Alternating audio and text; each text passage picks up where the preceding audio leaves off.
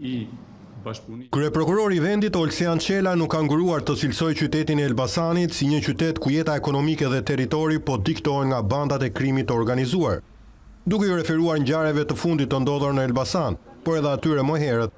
Çela ka kërkuar reagimin e institucioneve ligjzbatuese në mënyrë sa më të shpejtë dhe profesionale, në mënyrë që të rinjtë e Elbasanit të mos rekrutohen nga bandat.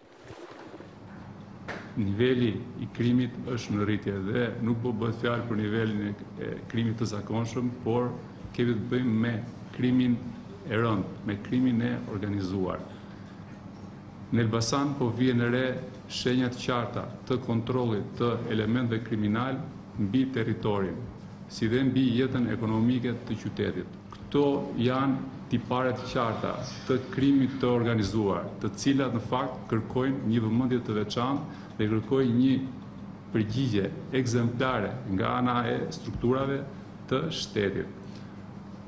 Nuk mundet të tolerohet që në një qytet, të kthehet në skenë të luftës mes bandave për kontrollin e territorit apo për shtimin e influencës.